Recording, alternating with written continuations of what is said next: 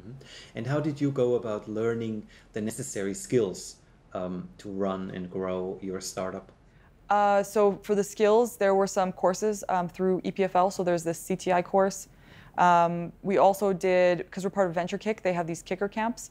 So it's like two days um, per per I guess stage that you're in, and they just go through everything and they they really say, you know, you need to do this and no, you're wrong. And they there's kind of like a no BS approach to the whole thing, which was really nice.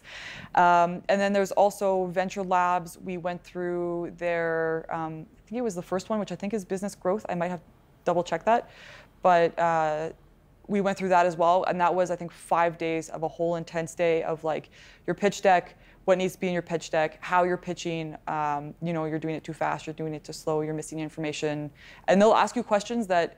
Um, in all of these, they ask you questions that you probably don't see yourself because they're from like an outside point of view. So they give you that kind of like, oh shoot, I didn't think of it moments. Um, I mean, there's still lots to learn. I think it's going to be a never-ending learning experience, which is the great thing about being an entrepreneur in a startup. Um, but we also have coaches who we talk to a lot about things that we think we're missing anytime we're maybe unsure or we need some advice, we always look for help um, because we want to make sure that we do the we do things right the first time, and in six months we don't look back and go, oh shoot, we should have done it this way instead.